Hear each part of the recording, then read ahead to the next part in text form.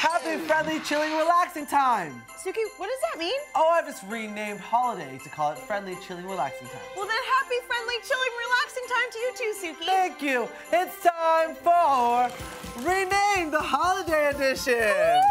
What I've done is I've renamed a few things, you gotta guess what I've renamed. Okay. You ready for this? I am ready. Oh, Oh, horse with sticks. hockey? No, it's a reindeer. Now you getting it, right? You getting it. So the sticks are the antlers. Okay, okay, I get it, I get it. Very old man. Uh, Santa? I feel Ding, kind ding, of there he is. saying Hello, that. Santa. Sorry, Santa. Foot holder with surprises. Stockings! Correct. Good. Yes. How about this one? Okay. A prickly shredder. Uh, what? Shredder, shredder, shredder. Well, oh, it's a, it's a Christmas tree. It's a tree. It's a pine tree. A real one. The fake ones don't shed on your floor, okay? they do not. Boiled bean powder with sugar softies.